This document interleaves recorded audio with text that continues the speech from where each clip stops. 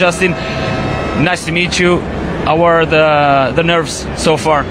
Well, they're they're picking up now. I mean, we're on the grid, and, and you know we're about to start the first ever race for the Trackhouse Racing MotoGP team. It's uh, it's really exciting. A lot of a lot of people have worked really, really hard over the last couple of months to, to make this program come together, and, and they had to work hard and they had to work together, and I'm really proud of that effort to get to this point right now.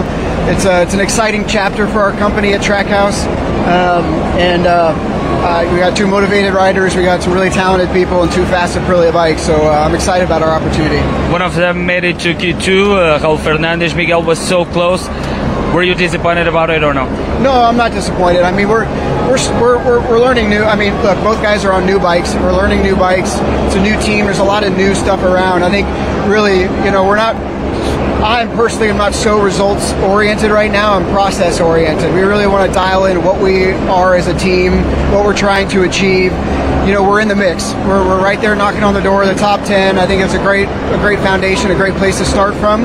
Um, and I think we have a lot of opportunity to do great things ahead of us. You yourself are a racing man, different kind of races, but how does a rider feel in a moment like this?